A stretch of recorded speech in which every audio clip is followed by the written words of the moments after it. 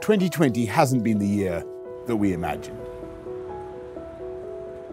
It's been a year when we've been separated from our families, friends, and many of the activities we love. But the spirit of our communities, the sacrifice of so much, has helped us through the pandemic. As we rebuild, we cannot shy away from the fact that our national recovery will be difficult, but we can't just seek to make up the ground that we've lost since March. We've got to set our sights higher. Fantastic. It falls to this generation, to this government, to this party, to take the opportunity to transform our country fundamentally and permanently for the better. The NHS app, here we go. Successful check-in, Uxbridge Library, look at that. Nice to see you. Nice to see you. How's things doing? We've been quite busy. I, uh, I'm so pleased, so pleased to see you open and, and trading well. Business is booming. Good. Since all this. Delighted to hear it. Good How are you morning. doing? How's business? Is it all right? Actually, we've been very busy throughout this. We're there for Yeah. all the patients. We're still open. Thank you for everything you've been doing. We must seize this opportunity to build back better. Build more houses to give people a chance to have a home of their own. Build more hospitals and rebuild more schools so that public services have the tools they need. Build the infrastructure that will transform and level up all parts of the UK. Build a stronger union, build a greener economy, build a fairer society, and build a better United Kingdom. Our plan to transform this country will not be blown off course. At the election, we promised to recruit 20,000 more police officers. We've already recruited 4,300. We promised to deliver 50,000 more nurses, with 14,000 already in place. We promised to get Brexit done. We left the EU on the 31st of January this year. Now is the moment to harness the extraordinary national spirit we've seen in the last few months and build back better.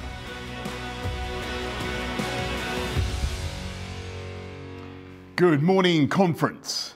I want to begin by thanking you for everything you did at the election.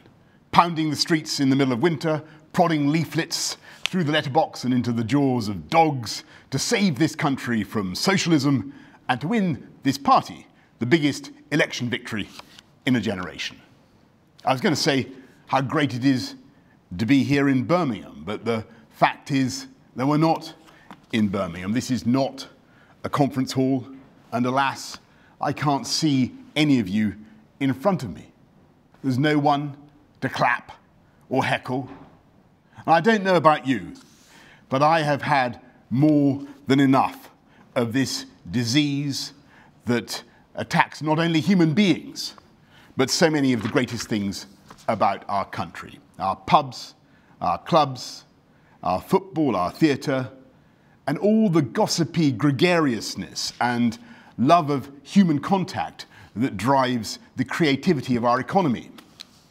And so I want to thank you all for zooming in, and I can tell you that your government is working night and day to repel this virus, and we will succeed, just as this country has seen off every alien invader for the last thousand years.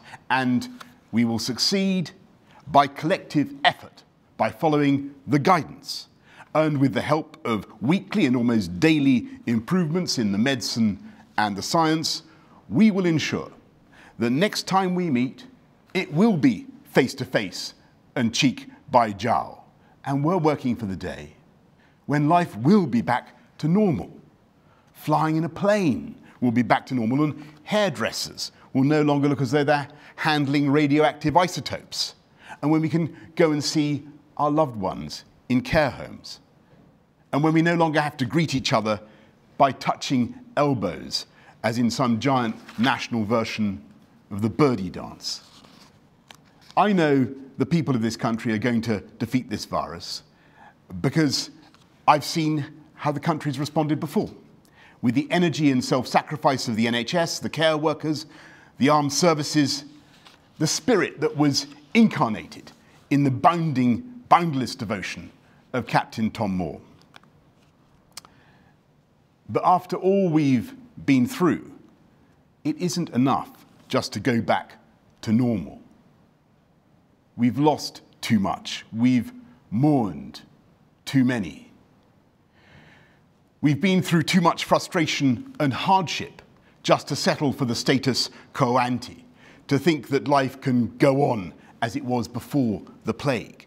And it will not, because history teaches us that events of this magnitude wars, famines, plagues, events that affect the vast bulk of humanity, as this virus has they don't just come and go. They are more often than not the trigger for an acceleration of social and economic change, because we human beings will simply not content ourselves with a repair job. We see these moments as the time to learn and to improve on the world that went before. And that's why this government will build back better. And to explain what I mean by build back better, I'll use a medical metaphor. I've read a lot of nonsense recently about how my own bout of COVID has somehow robbed me of my mojo. And of course, this is self evident drivel, the kind of seditious propaganda that you would expect from people who don't want this government to succeed, who wanted to stop us delivering Brexit and all our other manifesto pledges. And I can tell you that no power on earth was and is going to do that. And I could refute these critics of my athletic abilities in any way they want arm wrestling, leg wrestling, Cumberland wrestling, sprint off, you name it. And yet, I have to admit, the reason I had such a nasty experience with the disease is that although I was superficially in the pink of health when I caught it, I had a very common underlying condition. My friends, I was too fat. And I've since lost 26 pounds, and you can imagine that in bags of sugar. And I'm going to continue that diet because you've got to search for the hero inside yourself in the hope that that individual is considerably slimmer. And uh, when you look at the general economic condition of the country, when we went into lockdown, there was a, a an analogy, a similarity, because we were on the face of it in pretty good shape. We had a record number of people in jobs, we had record low unemployment, we were seeing growing exports, and of course, the only reason, uh, as Rishi Sunak has pointed out, that in the last few months we've been able to cope with the cost of the pandemic, to look after jobs and livelihoods in the way that we have, is that in previous years we had sensible conservative management of public finances. And yet, if you looked more carefully, you could see, and indeed many of us said so at the time, that the UK economy had some chronic underlying problems. Long term failure to tackle the deficit in skills, inadequate transport infrastructure, not enough homes people could afford to buy, especially young people, and far too many people across the whole country who felt ignored and left out, that the government was not on their side. And so we can't now define the mission of this country as merely to restore normality. That isn't good enough. In the depths of the Second World War, when just about everything had gone wrong, the government sketched out a vision of the post war New Jerusalem that they wanted to build. And that's what we're doing now in the teeth of this pandemic. We're resolving not to go back to 2019, but to do better, to reform our system of government, to renew our infrastructure, to spread opportunity more widely and fairly, and create the conditions for a dynamic recovery that is led not by the state, but by free enterprise. We need to move fast, not just to deal with the immediate economic fallout, but because after 12 years of relative anemia, we need to lift the trend rate of growth. We need to lift people's incomes, not just go back to where we were. And it's clear from COVID that we need the economic robustness to deal with whatever the next cosmic spanner may be hurtling towards us in the dark. And the only way to ensure true resilience and long term prosperity is to raise the overall productivity uh, of the country. And the bedrock of national productivity is, of course, something that we are responsible for having great public services on which everyone, families, businesses, investors, can rely. That means, first, a great health service. And so it's right that this government is pressing on with its plan for 48 hospitals. Count them, that's eight already underway, and then 40 more between now and 2030. We need to get on with recruiting the 50,000 more nurses, and I'm proud that we have 14,000 more since this government came into office. 14,000 more nurses now under this Conservative government in the last year, and yet that isn't enough.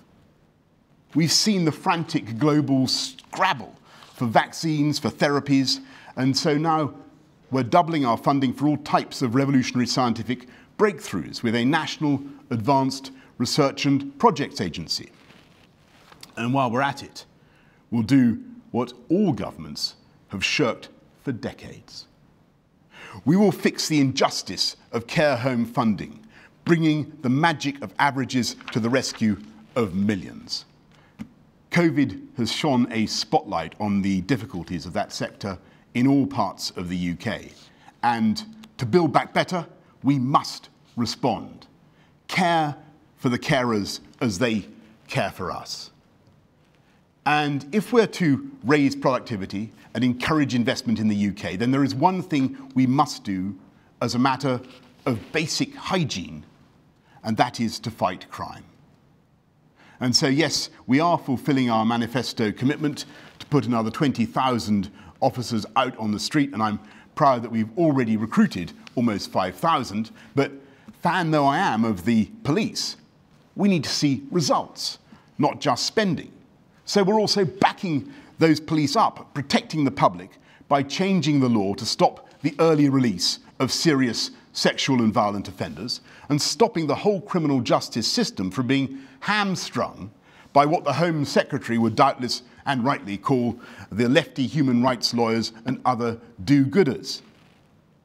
And in spite of the pandemic, the Home Secretary and I are having regular CompStat style sessions with the Chief Constables when we look at the crime data across the country and compare performance and work out what we can do to help town by town. We're rooting out the county lines drugs gangs that are causing so much misery. And in that sense, our agenda is basic social justice. When I talk about levelling up, I mean making the streets safer for everyone. And when I talk about levelling up, I mean not just investing massively in our schools, delivering on our promise to raise per pupil funding to £4,000 per head in primary school, and £5,000 per head in secondary school, as well as a £30,000 starting salary for teachers. I'm thinking not just about the inputs, but about the outputs, the changes in the lives of young people. And so I want to take further an idea that we've tried in the pandemic and to explore the value of one to one teaching, both for pupils who are in danger of falling behind and for those of exceptional abilities. We can all see the difficulties, but I believe such intensive teaching could be transformational and of massive reassurance to parents. It's in crises like this that new approaches are born. And last week, we grasped a nettle that has intimidated governments for the last century. We effectively broke down the senseless barrier between further education and higher education so that it's just as easy to get the funding you need for a training course in engineering or IT as for a degree in politics or economics. Because we're offering every adult four years of funded post 18 education, a lifetime skills guarantee, a lifetime skills guarantee. From internet shopping to working from home, it looks as though COVID has massively accelerated changes in the world of work. And as old jobs are lost and new jobs are created, we're offering free training for adults without A levels in vital skills, from adult care to wind turbine maintenance. And the COVID crisis is a catalyst for change. So we need to give people the chance to train for the new jobs that are being created every day. And there's one area where we are progressing with gale force speed, and that is the green economy. The green industrial revolution that in the next 10 years will create hundreds of thousands, if not millions, of jobs. I can today announce that the UK government has decided to become the world leader in low cost clean power generation, cheaper than coal, cheaper than gas. And we believe that in 10 years' time, offshore wind will be powering every home in the country with our target rising from 30 gigawatts to 40 gigawatts. You heard me right. Your kettle, your washing machine, your cooker, your heating, your plug in electric vehicle, the whole lot of them will get their juice cleanly and without guilt from the breezes that blow around these islands. We will invest 160 million pounds in ports and factories across the country to manufacture the next generation of turbines. And we'll not only build fixed arrays in the sea, we will build windmills that float on the sea enough to deliver one gigawatt of energy by 2030. That's 15 times floating windmills, 15 times as much as the rest of the world put together. Far out in the deepest waters, we will harvest the gusts, and by upgrading infrastructure in such places as Teesside and Humber and Scotland and Wales, we will increase an offshore wind capacity that is already the biggest in the world. As Saudi Arabia is to oil, the UK is to wind, a place of almost limitless resource, but in the case of wind, without the carbon emissions, without the damage to the environment. I remember how some people used to sneer at wind power 20 years ago and say it wouldn't pull the skin off a rice pudding. Well, they forgot the history of this country. It was offshore wind that puffed the sails of Drake and Raleigh and Nelson and propelled this country to commercial greatness. This investment in offshore wind alone will help to create 60,000 jobs in this country and help us to get to net zero carbon emissions by 2050. Imagine that future with high skilled green collar jobs in wind, in solar, in nuclear, hydrogen, and in carbon capture and storage retrofitting homes, ground source heat pumps. Mother Nature has savaged us with COVID. But with the help of basic natural phenomena, we will build back and bounce back greener. And this government will lead that green industrial revolution. We will create the conditions for individuals and for companies to flourish with a high skill, low crime economy. And if there was a physical audience in front of me now, I would solicit cheers by shouting out the details of our revolution in transport infrastructure. The A roads we're going to upgrade, the rail lines we're building or electrifying, the simple ways in which we will improve your lives, your daily commute. But we must be clear that there comes a moment when the state must stand back and let the private sector get on with it. I have a simple message for all those on the left, the Labour Party, who think everything can be funded by Uncle Sugar, uh, the taxpayer. It isn't the state that produces the new drugs and the therapies we're now using. It isn't the state that will hold the intellectual property of the vaccine if and when we get one. It wasn't the state that made the gloves and the masks and the ventilators that we needed uh, at such speed. It was the private sector with its rational interest in innovation and competition and market share, and yes, sales. We must not draw the wrong economic conclusion from this crisis. Rishi Sunak, the Chancellor, has come up with some brilliant expedients to help business, to protect jobs and livelihoods. But let's face it, he has done things that no Conservative Chancellor would have wanted to do except in times of war or disaster. This government has been forced by the pandemic into erosions of liberty that we deeply regret. and to an expansion in the role of the state from lockdown enforcement to the many bailouts and, and subsidies that go against our instincts. But we accept them because there is simply no reasonable alternative. And yet, on the left, in the Labour Party, there are many who regard this state expansion as progress and who want to keep the state supporting furlough forever, keep people in suspended animation, and who want to keep the state preempting and spending almost half our national income.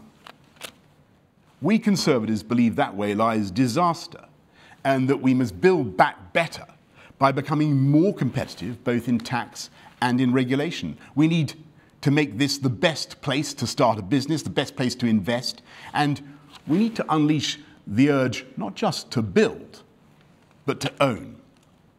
We need to fix our broken housing market. When COVID struck, there were millions of people, often young people, who found themselves locked down in rented accommodation without private space, without a garden, forced to use ironing boards for desks and bedrooms for offices. And I know that there are many people who are, of course, very happy with renting the flexibility that it offers. But for most people, it is still true the overwhelming instinct is to buy.